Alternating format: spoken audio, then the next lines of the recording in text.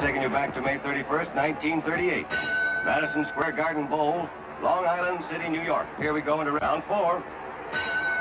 The scheduled 15-round title bout between welterweight champion Barney Ross and Henry Armstrong. Hurricane Hank. Ross with a white stripe on his trunks.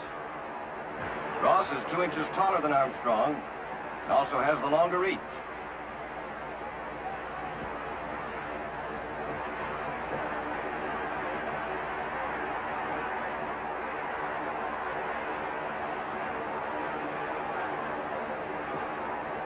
Armstrong, Hurricane Hank, and he sure is.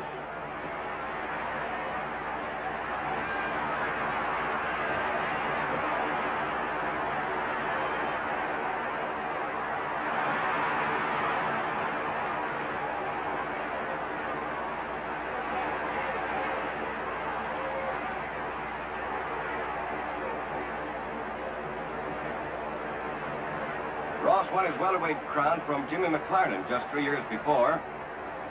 Barney's one of the most popular fighters in the ring today. He's classy, he can hit, he always gives the fans a run for their money.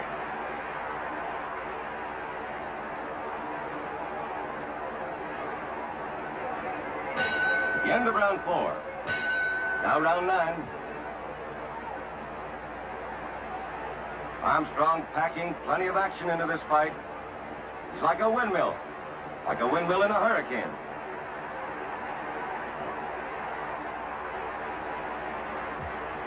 Ross is almost helpless, hardly returning a punch.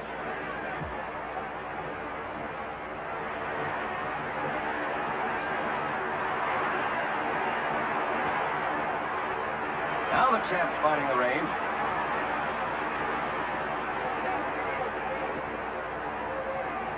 Armstrong moves in again and takes over.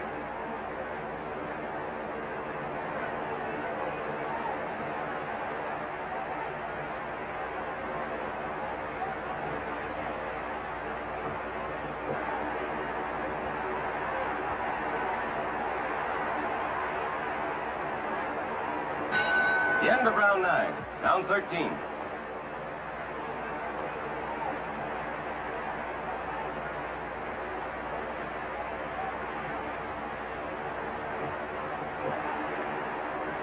Now there's the old Barney Ross, peppering Armstrong with left jabs.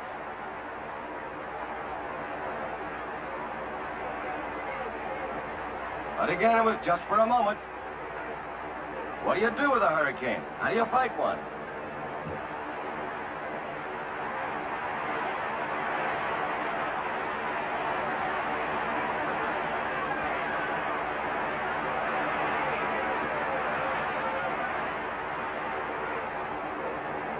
Barney's fought the toughest of fighters. But looks like he's taking more punishment tonight than at any other fight. Maybe this is what he was thinking when he said no one would ever have to tell him he was through. He said all he had to do was take one bad beating. Maybe this is it.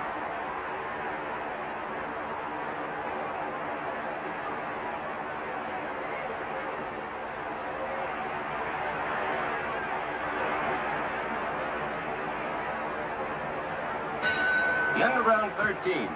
Now the 15th and final round.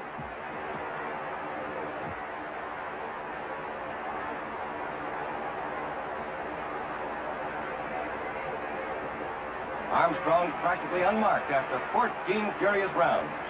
He's just as fast, throwing just as many punches as when the fight started.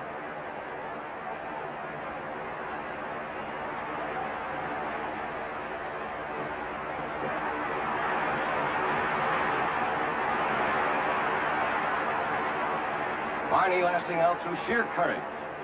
If this is his last fight, he wants to make his exit standing up.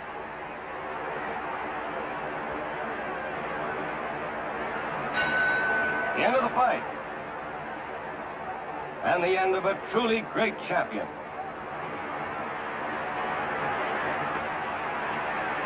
Henry Armstrong makes ring history. Becomes the first fighter to hold both welterweight and featherweight titles at the same time.